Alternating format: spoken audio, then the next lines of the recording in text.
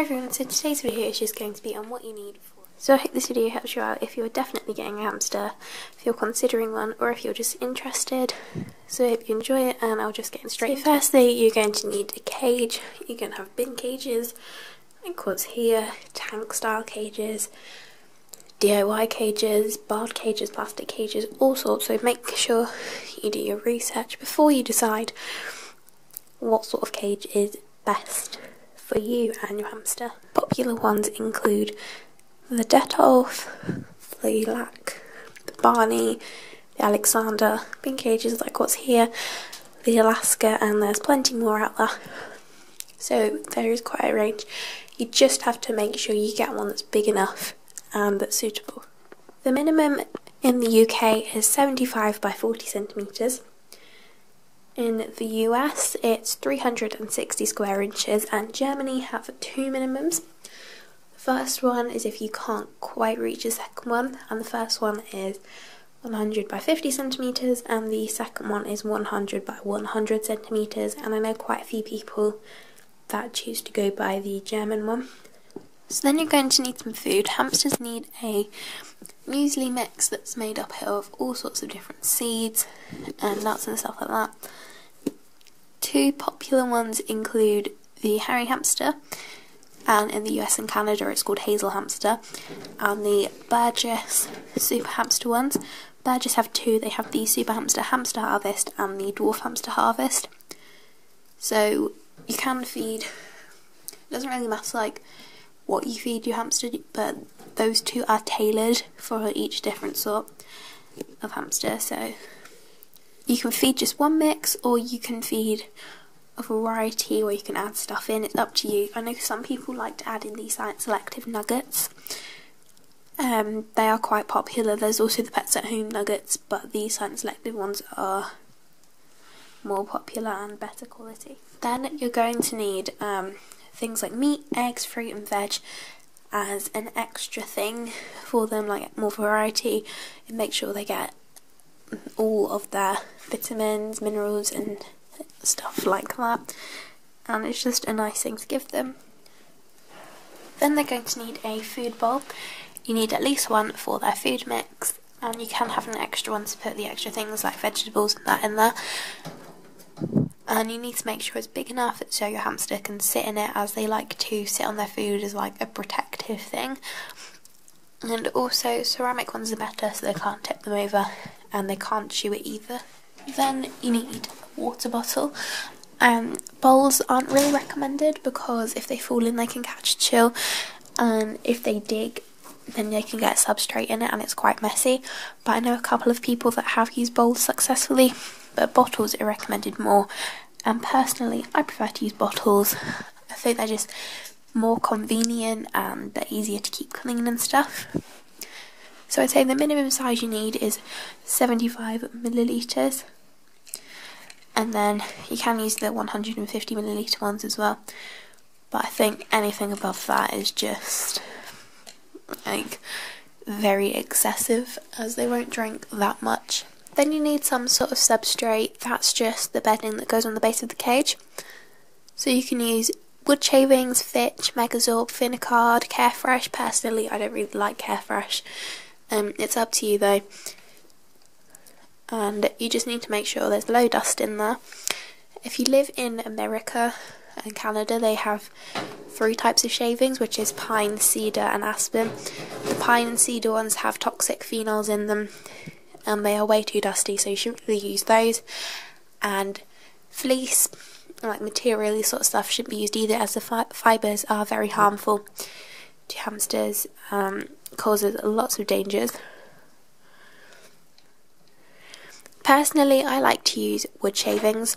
I just find them to be the cheapest one, and I use the ones for horses I prefer them much more to the ones designed for small pets. There's very little dust in them as horses have extremely sensitive respiratory systems. And you get big bales and they last much longer, it just works out cheaper and they're much better quality too. We get a bale for 8.75 and that lasts quite a while for the hamsters, the gerbil, the rats, the rabbits, the guinea pigs, the ferrets, and yeah, there are the animals that have it so it just lasts around a month and a half. Then you're going to need a hide. You can use plastic ones, wooden ones. In the summer, ceramic ones are pretty good, like um, terracotta pots. So there's loads out there. And you can get these sort of Savic Sputniks, and they go on the bottom, or if you've got birdcage, you can hang them up too. So I quite like those ones. And wooden ones look really nice. Here's one I've got here. Um, there's just a tree on there, and it's got a little window, and I think this house is adorable. And my friend Rosie got me both of these, so I do really like them. So thank you again for those. And it just depends on what you like and what you think would be better for you and your hamster. Then you're going to need some sort of nesting material. Paper is the most common one, the safest one. You can use loo roll, kitchen towel, you can buy paper bedding in shops. Don't ever use fluffy bedding, please. It causes so many issues with many animals. It kills so many small pets every year. I will link a website about it in the description so you can go read up on that please avoid it at all costs. It's terrible. Then you're going to need a wheel. Hamsters run around 8 miles each night, so they do need a wheel to be able to run that amount in a domesticated environment. The minimum for a dwarf or Chinese hamster is 6 inches, which is the one here. Um, Roborovsky hamsters can sometimes fit onto a 4.5 inch, however 6 inches just recommended more. Then the minimum for a Syrian hamster is between 8 inches and 12 inches. It depends if you've got quite a large Syrian or quite a small one. Um, Almond has an 8 inch here, which is the Trixie one. Hello.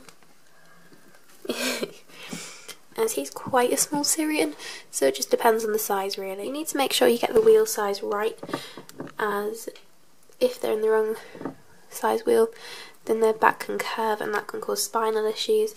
And also, if you're getting a pair of hamsters, the only ones you can have in pairs are the Russians and the Robos. You need a wheel per hamster, as that just helps to reduce any sort of fighting that happens. Then you're going to need some chews. Hamsters' teeth continuously grow, like most rodents, so they need a variety of wood chews to help wear them down. Some hamsters just don't chew, they're not interested at all, so then they need some hard biscuits to help wear down their teeth. And treats like marrowbone rolls work well with that. So here there's just a carrot chew, is from Wilko, Corny the Owl, a piece of an aerated block,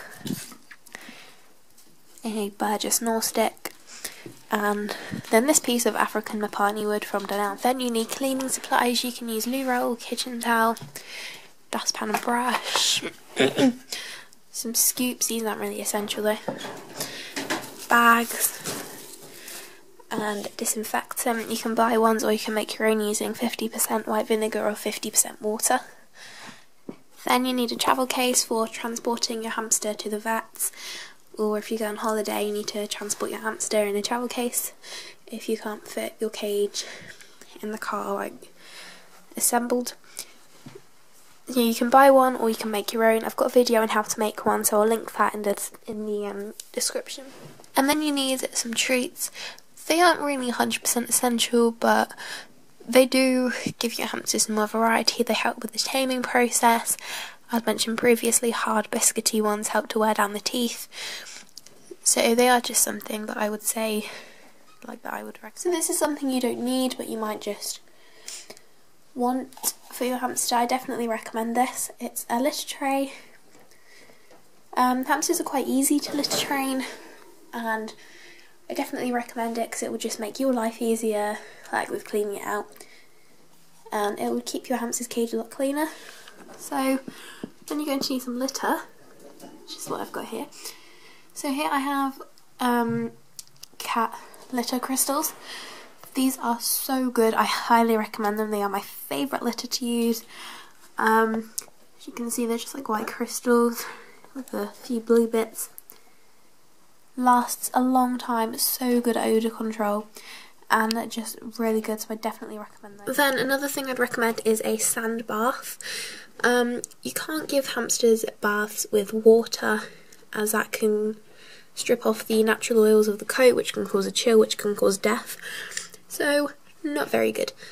So a sand bath is definitely a great way to clean your hamster's coat. Use chinchilla sand, not dust. Dust can cause respiratory problems.